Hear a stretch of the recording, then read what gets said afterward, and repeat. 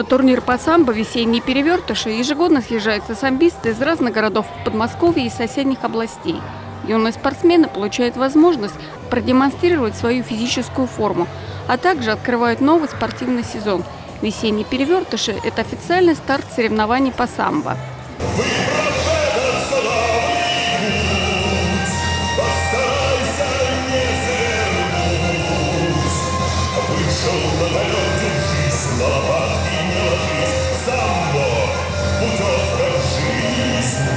Разрешите мне от имени оргкомитета вас всех поздравить с сегодняшним стартом, который является очередным этапом вашей подготовки к официальным соревнованиям.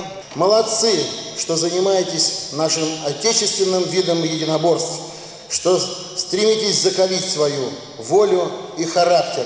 Не сомневайтесь, самбо вам в этом поможет. Удачи вам на ковре и в жизни. С праздником, друзья!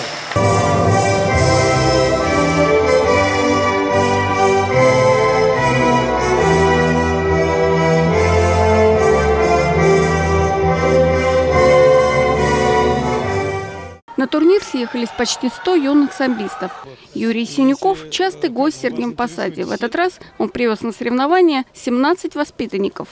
Некоторые ребята у нас первый раз только участвуют, еще первый раз участвуют.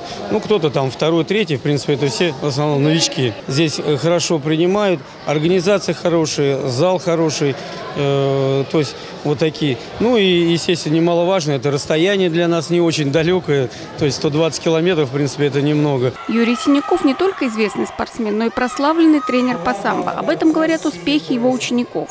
В 2004 году парень выиграл первенство мира. В 2006 по студентам был вторым. В 2010 э, бронзовым призером первенства мира был парень. И сейчас последние вот э, три года, нет, четыре даже. В 2013 году мир девочка выиграла, в 2014 в 15 выиграла. В 15 выиграла она Европу по молодежи и по старшим девушкам еще мир тоже. И сейчас вот только мы приехали в Сочи, где проходило первенство России, она опять заняла первое место среди молодежи и отобралась на первенство мира 16 года. Но, конечно, больше всего участников турнира из Сергиева Посада. В основном это воспитанники заслуженного тренера России Александра Семенова.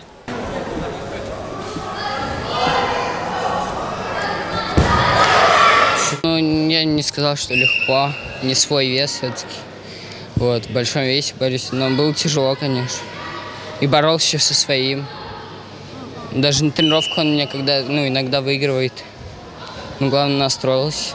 Младший брат Шафина Рустам, несмотря на свой юный возраст, не уходит с ковра без победы.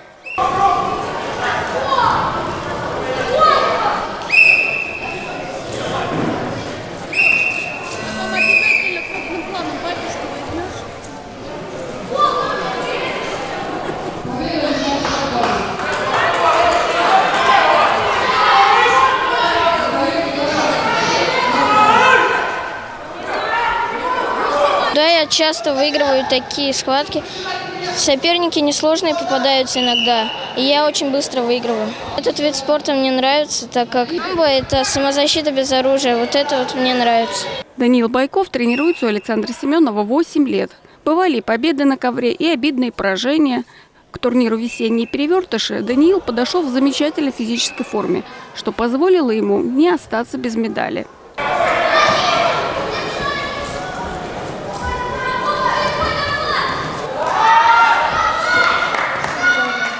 Ну, привлекает это, в первую очередь, наверное, ну, мужской вид спорта, во-первых.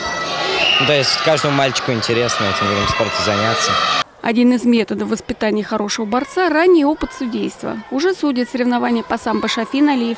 На судейском поприще давно выступает Самвел Бадалян, прославленный воспитанник Александра Семенова. Недавно Самвел вернулся с Кубка мира по боевому самбо с очередной высокой наградой – серебряной медалью соревнований. Я много раз боролся на этом турнире. И призером, и победителем был. Прям приятно смотреть, как дети борются, стараются. Такие турниры надо часто проводить. Для официальных соревнований это очень хороший старт, очень хорошая подготовка. Само собой, бороться больше нравится. Судить, судейство – это уже второстепенная часть.